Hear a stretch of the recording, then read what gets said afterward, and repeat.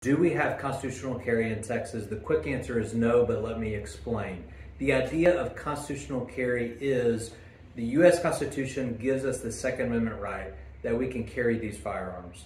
And no state can do anything to further limit that right.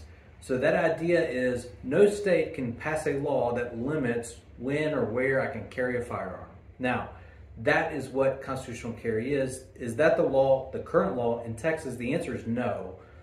Texas recently, in the past several years, has passed where you no longer have to have a permit to carry. So the coin term for that that has been popular is called permitless carry. So what you need to know is when that law passed, it made headlines, it made news, and everybody made this assumption of, oh, great, we no longer have to have a permit. I can carry it when and however I want. That is not the current state of the law.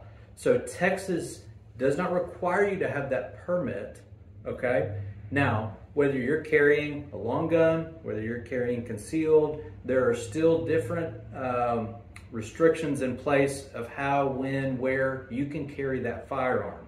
So you need to know that before you decide to do it. So I have some folks that say, hey, Justin, I don't care what the Texas law is. I'm going to go do what I do because the U.S. Constitution says I can. And if Texas decides, arrest me, charge me, go to court, let's go fight the fight. I have other people that say, I don't want to go through that process. I'll let somebody else do it. I want to know what that current Texas law is. I want to abide by it. I want to avoid police arrest or going to court. That's fine too.